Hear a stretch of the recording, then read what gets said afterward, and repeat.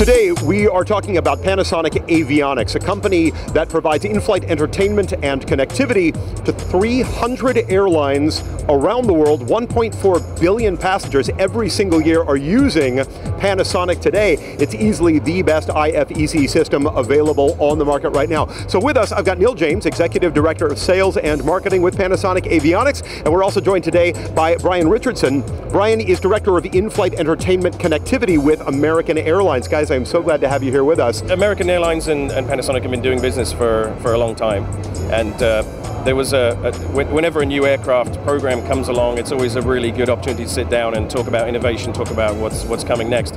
And honestly, when we received the RFP from American Airlines for the latest um, aircraft, we were blown away by the innovation that American had throughout the entire RFP, everything around personalization, what they wanted to do with it.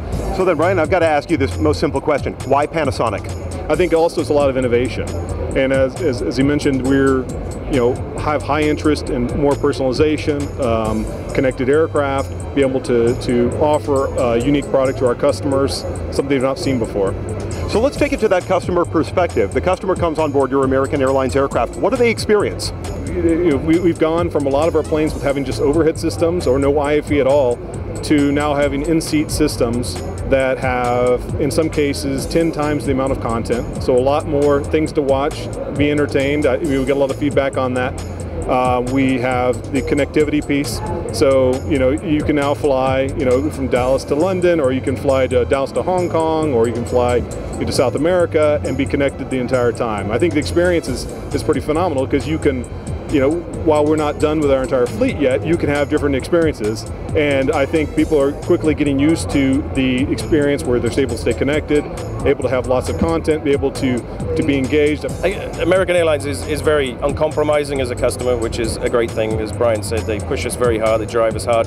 We'd like to think nothing's ever really good enough between us and, and sort of keep keep evolving, keep keep moving forward, never rest on our laurels with where the relationship's going. And the ultimate thing is create a win-win-win. If you have an incredibly happy passenger and the customers that are getting what they want from the solution and Panasonic is able to you know join those two together, it's, it's fantastic. It's great, another terrific Panasonic partnership. Gentlemen, it's been a pleasure to talk with you both. Thanks for your time and thanks to all of you for joining.